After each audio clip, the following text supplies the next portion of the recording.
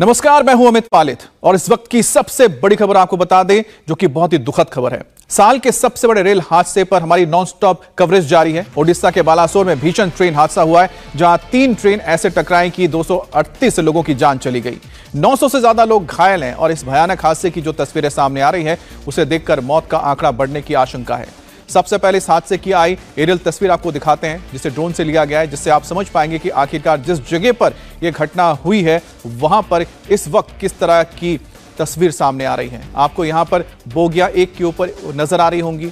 आपको बता दें कि ये जो तस्वीर है, ये बताती है कि एक दो नहीं, बल्कि तीन ट्रेनें थी। एक मालगाड़ी थी और दो पैसेंजर ट्रेन थी जो आपस में टकराई हैं। और देखिए, पहली ट्रेन अपने ट्रैक पर मौजूद है, जिसमें दो इंजन लगे क्योंकि यह मालगाड़ी है। दूसरी तरफ़ आप देख रहे हैं, वो ट्रेन जो कोरोमंडल एक्सप्रेस है और फिर तीसरी ट्रेन है, जो कि जो आप देख रहे हैं, तीसरी ट्रेन के आप बोगीज को देख सकते हैं, किस तरह से एक दूसरे के ऊपर। आप देखिए, पहली ट्रेन ये जो आपको नज़र आ रही है, ये है, ये मालगाड़ी है जो यहाँ पर मौजूद है, जो यहाँ पर स्टेशनरी थी।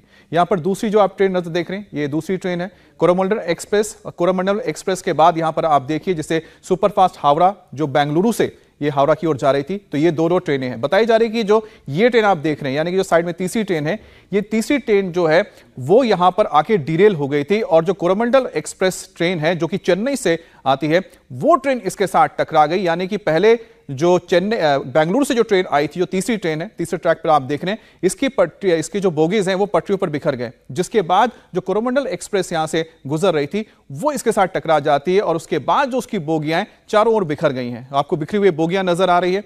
डिरेल होने के बाद एक एक के बाद, एक के बाद एक जो बोगीज थी, आपस में टकरा गई, कुछ नीचे गिर गई। और सबसे हैरानी की बात है, जो तस्वीर आपको दिखाएँगे, जिसमें आप देखना कि जो एक इंजन है, इंजन जाकर सीधा जो आपकी मालगाड़ी है, उसके ऊपर चली गई। तो ये देखिए, पूरी इतनी लंबी ट्रेन किस तरह से डीरेल हुई है। तो तेज रफ्तार में थी और काफ़ी देर शाम का वक्त था। करीब सात आठ बजे के करीब ये घटना हुई है, जिस दौरान ये ट्रेन फुल स्पीड में जा रही थी और यही वजह है कि एक भी बोगी आप देख रहे हैं कि बची नहीं है और सारी की सारी जो बोगियाँ हैं, ये डीरेल हो गई है। और इस वक्त यहाँ पर रेस्क्यू ऑपरेशन चल रहा है। बड़ी तादाद में देखिए बसें पहुँची एनडीआरएफ की टीमें पहुँची है। और आप देखते रहिए कि कितनी बोगियाँ इसमें डैमेज हुई हैं। 200 से ज़्यादा लोगों की मौत, यानी करीब करीब करीब ढाई सौ लोगों की मौत की आशंका इसमें जताई गई है अभी तक। उसमें आप देखिए कि एक के बाद, एक के बाद एक जो बोगियाँ हैं, पूरी तरह से डैमेज हो गई हैं और ज़्यादातर जो बोगियाँ आपको यहाँ पर नज़र आ रही हैं एक कोरोमंडल एक्सप्रेस की बोगियाँ हैं, जो आ रही थी और टकरा गई। इससे पहले जो हावड़ा सुपरफास्ट ट्रेन है, जिसको बेंगलुरु से छूटी थी, वो जो ट्रेन है, वो बताया जाता है कि पहले डिरेल हो गई, उसकी जो बोगिस थी, जाकर पटरियों पर गिर गई। और जो यहाँ से कोरोमंडल एक्सप्रेस आप देख रहे हैं, जो चेन्नई की ओर से, हावड़ा की ओर जा रही थी वो तेज रफ्तार में थी और उसने जाकर जो डीरेल ट्रेन के बोगियाँ थे, उसको टक्कर मारी और जो इंपैक्ट हुआ इंपैक्ट की वजह से सारी बोगियाँ बिखर गई और कुछ बोगियाँ जाकर जो इसके पास में मालगाड़ी है, मालगाड़ी के ऊपर चली गई। इस वक्त यहाँ पर देखिए एक एक करके बोगियों को हटाया जा रहा है और कुछ जो यहाँ पर आपको बोगियाँ नज़र आ रही हैं, जो इस वक्त सीधी खड़ी हैं गनीमत है कि इसमें जो लोग थे वो बचे हैं। लेकिन सबसे भयानक तो वो तस्वीर आपको नज़र आएगी जब आप थोड़ा और आगे जाएँगे जहाँ पर इंपैक्ट हुआ था।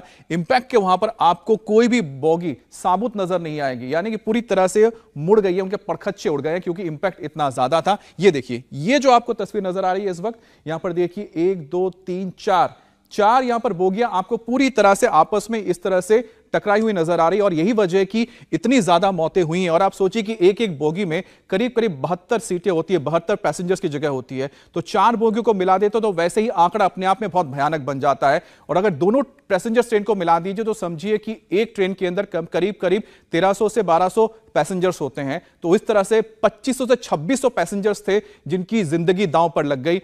और बहुत दुखद बात है कि ये जो आप हादसा देख रहे हैं इस हादसे में 238 लोगों की अभी तक मौत की खबर सामने आ रही है। और देखिए कि एक एक बोगियाँ जो है किस तरह से डिरेल हुई है। और काफ़ी लंबी ट्रेन है और जो फ्रंट में जो बोगीज थी वो सबसे ज़्यादा डैमेज हुई है। पीछे भी देखिए कुछ जो इंपैक्ट की वजह से यहाँ पर आपको डैमेज नज़र आ रही है बोगियाँ। तो कुल मिलाकर इस वक्त जो तस्वीर आप देख रहे हैं ये पूरी तरह से इस हादसे की, की तस्वीरों को बताता है कितना भयानक है।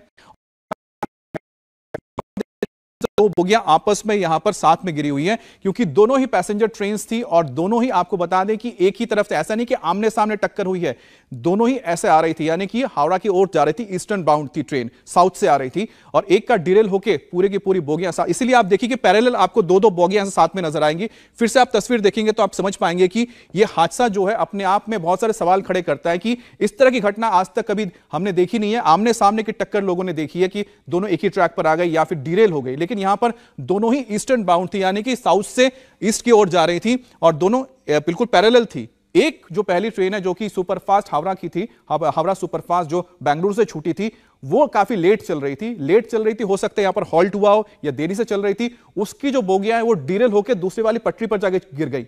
इतनी देर में कोरमंडल एक्सप्रेस आ गई चेन्नई की ओर से और उसने सीधा उन बोगियाँ जो डिरेल में पड़ी हुई थी, उसके साथ टक्कर मारी। और टक्कर के बाद जो इंपैक्ट हुआ, उसमें एक के बाद एक जो पीछे की सबसे फ्रंट बोगीज थी, वो डैमेज हो गई। पीछे की जो बोगियाँ हैं, वो भी पलट गई। इसीलिए आपको देखिए, यहाँ पर कुछ तो तस्वीरों में नज़र आएँगी। दोनों ट्रेनों की जो बोगियाँ हैं पैरेलली एक दूसरे के आसपास पड़ी हुई हैं। इसी वजह से यहाँ पर इतना ज़बरदस्त ये आप भयानक मंजर देख रहे हैं। ये देखिए सबसे खतरनाक है। यहाँ पर एक, दो, तीन, चार, पाँच, लगभग छह या बोगियाँ कुछ बोगियाँ तो नज़र नहीं आ रही लगभग छह बोगियाँ यहाँ पर देखिए। छह से सात बोगियाँ पूरी तरह से यहाँ पर डैमेज हो गई हैं। और ये जो डैमेज एरिया आपको नज़र आ रहा है, यही सबसे खतरनाक वो जगह थी जहाँ पर कि ये इंपैक्ट हुआ है। देखिए, यहाँ पर दोनों ट्रेनें आपको पैरेलल नज़र आ रही हैं, दोनों ट्रेनें पैरेलल है। और ठीक उसके सामने देखिए एक जो आपको बोगी नज़र आई है, बिल्कुल ये हॉरिजॉन्टली यहाँ पर पड़ी हुई है। यानी कि एक वर्टिकल और एक हॉरिजॉन्टल यहाँ पर आपको नज़र आ रही है बोगी। और इसी पे जाके जो इंपैक्ट हुआ था तो इसलिए दोनों पैरेलल ट्रेन की बोगियाँ देखिए आपस में यहाँ पर एक दूसरे के साथ टकरा गई और इस तरह से मैंगल्ड होके, यानी कि जुड़ के वहाँ पर रह गए, जिसकी वजह से वहाँ पर लोगों को निकालने में दिक्कत हो रही है। और ये जो तस्वीर है, ये बिल्कुल क्लियर कर देता है कि आखिरकार ये घटना किस तरह से हुई थी। अभी जाँच के बाद ही पता लगेगा कि इसलिए वजह क्या रही है। थोड़ी देर पहले रेल मंत्री ने खुद जाकर स्पॉट पर हालात का जायजा लिया।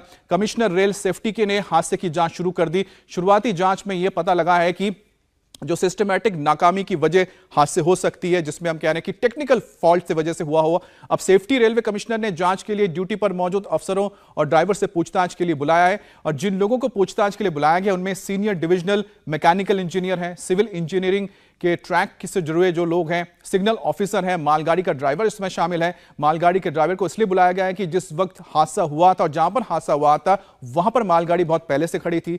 कोरोमंडल एक्सप्रेस की बोगियों को पलटने के बाद मालगाड़ी पर चढ़ी थी। यही वजह है कि जो मालगाड़ी का ड्राइवर है, वो इसमें एक बहुत अहम रोल प्ले कर सकता है। ये बताने के लिए आखिरकार हादसा किस वजह से हुआ है।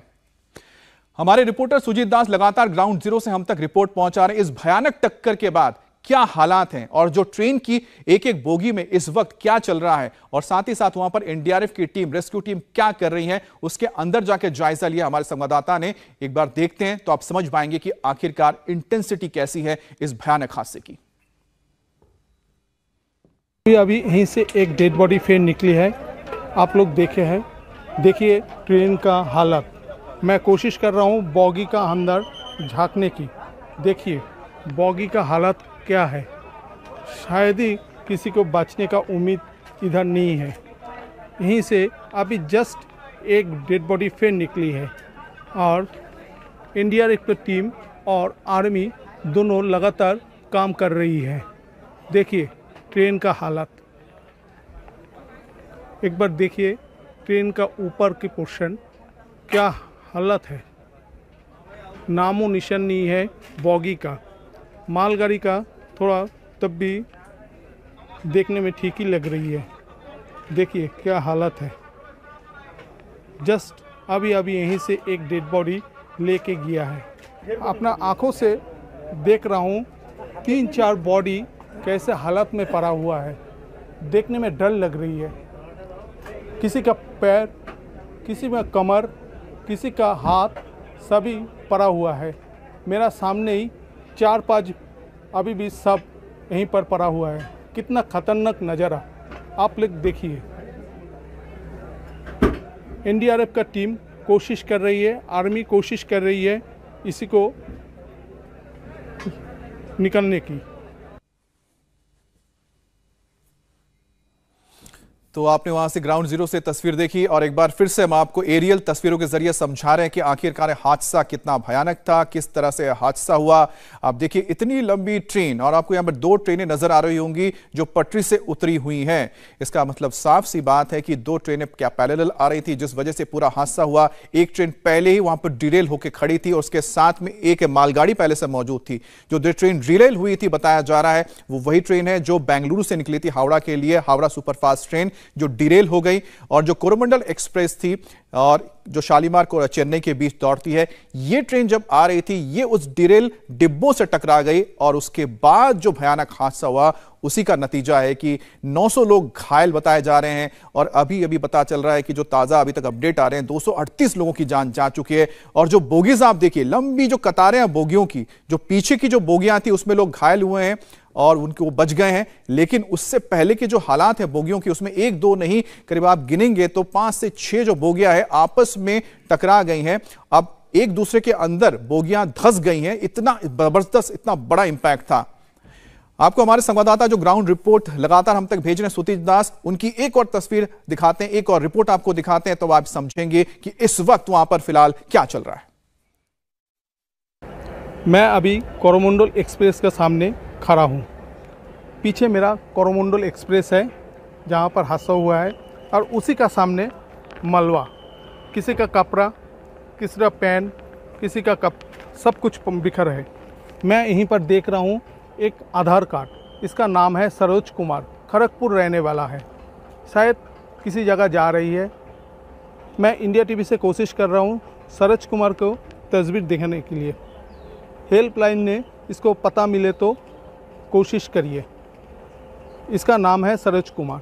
और देखिए, बैंक बैंक की पासबुक किसी का किताब, सब कुछ पड़ा हुआ है। किसी का कपड़ा, किसी का पेन, किसी का बक्सा, कोई ना कोई जगह जाने की, सब लेके जाने की कोशिश कर रही थी। हालत इतना ख़राब है, सभी फेंक के जाना पड़ा है। शायद कोई ज़िंदा है बा, कोई हॉस्पिटल में है। देखिए, खाने का सामान किसी का टिफ़िन सभी बिखरे हुए, पड़ा हुआ है। ट्रेन का हम नीचे जो कोशिश कर रहा हूँ देखने की, क्या हालत है देखिए। सभी बिखरा हुआ, पड़ा हुआ है। ट्रेन बॉगी पलट चुकी है। मालगाड़ी का मलबा सामने है। हालत इतना ख़राब है, देखने में डर लगता है। कोरोमंडल एक्सप्रेस का एक बॉगी में हूँ। देखिए इसका हालत, क्या हालत है। सभी सामान फेंका हुआ है, कुछ नहीं है, हालत बिखरे हुआ है। शायद सब लोग निकल गया है, इस बॉगी में ज़्यादा कुछ हुआ नहीं, किंतु इसका हालत बहुत ही ख़राब है, सब बिखरे हुए हैं। ये पटरी से बाहर चला गया है, किंतु सभी ठीक है। देखिए ट्रेन का बाहर का नज़ारा।